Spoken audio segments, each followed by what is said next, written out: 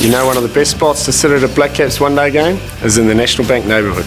It's a family area, has lots of fun activities and prizes all day long.